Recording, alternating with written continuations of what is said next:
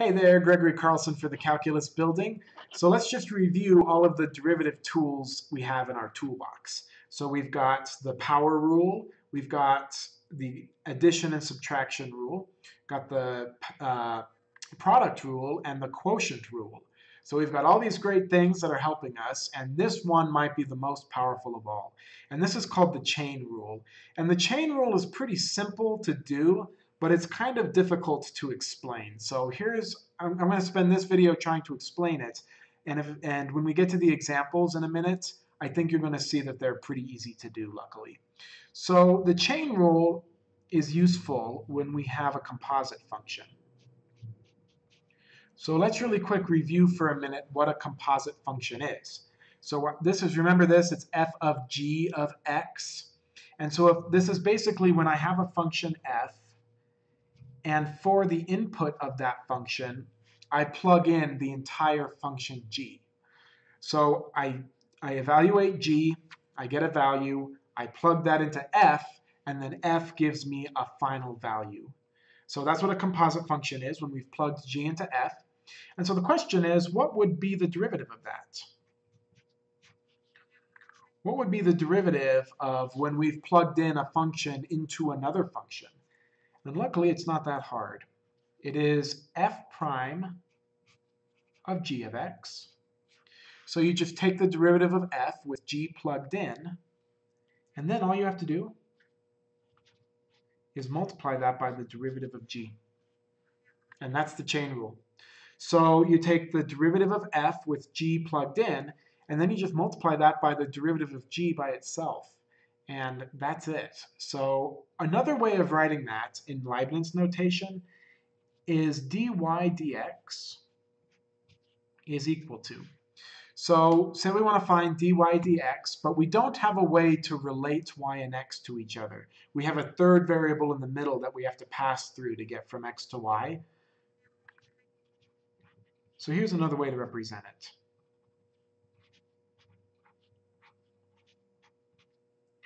So you would have, let's say we have some variable t that we have to pass through to get from x to y.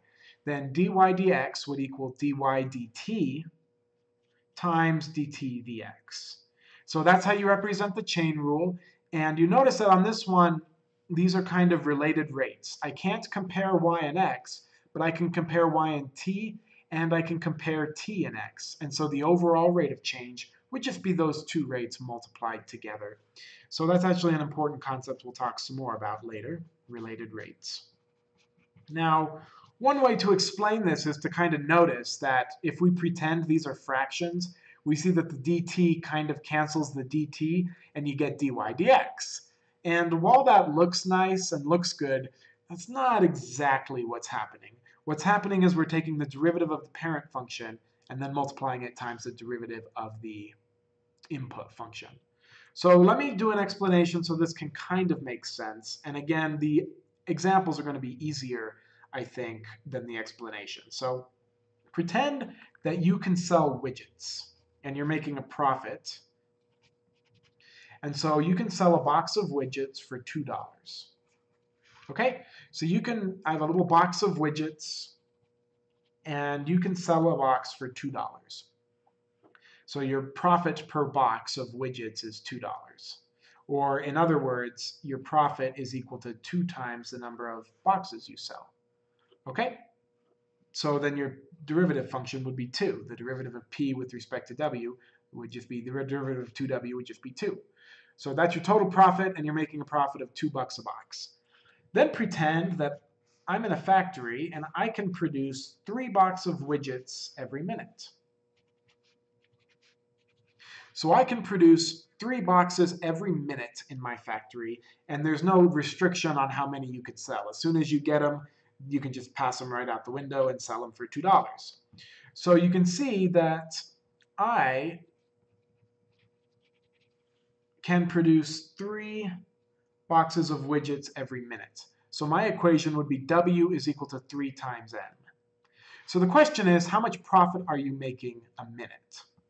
We know that you're making $2 a box, and I'm making three boxes a minute.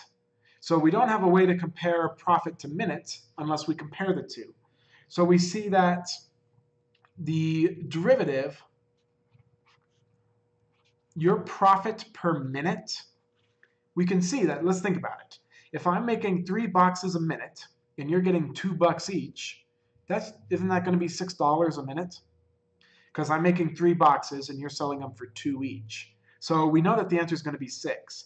And so we know that this is going to equal the dp dw, the rate that you're getting for every box, times the rate that I can produce them. And so we see that dWdm, sorry, I'm a little all over the place, dWdm equals 3 because I'm producing 3 a minute. So your profit is you can sell each box for $2 and I can produce 3 a minute. And so the amount of profit you're getting per minute is equal to 6. So that's kind of the idea of what's going on. And this is kind of a simple example, but it turns out that this rule can apply to functions of any level of complexity, even things that are really, really complicated, or even functions that are plugged into functions that are plugged into functions. We can do a chain rule of a chain rule of a chain rule of a chain rule. That's why it's called the chain rule. So we're just going to look at some simple examples first, but I hope that makes sense that you couldn't directly compare profit per minute, but we could pass through this widget variable to figure out your profit per minute by figuring it out in terms of the widgets. So I'm going to stop this video here. I know that explanation is a little tough. You might have to watch it more than once. Um, but you're going to see that when we apply this to functions, it's going to be pretty easy. So I'll see you in the next video for our first few examples.